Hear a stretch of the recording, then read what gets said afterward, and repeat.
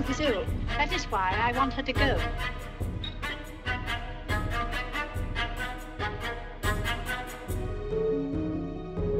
Yes, she's a problem. I'm afraid she'll be a problem for you, too.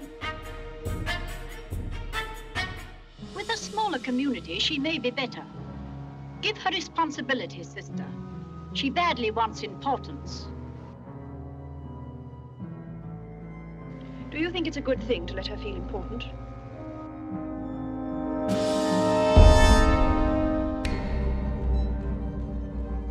I haven't been sleeping, that's all.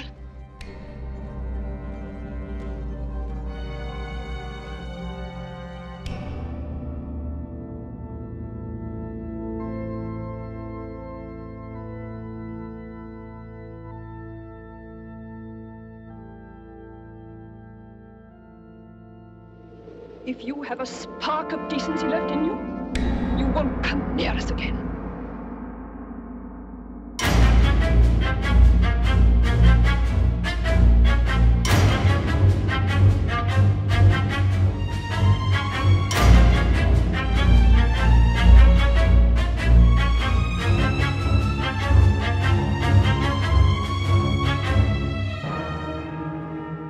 What has happened, sister?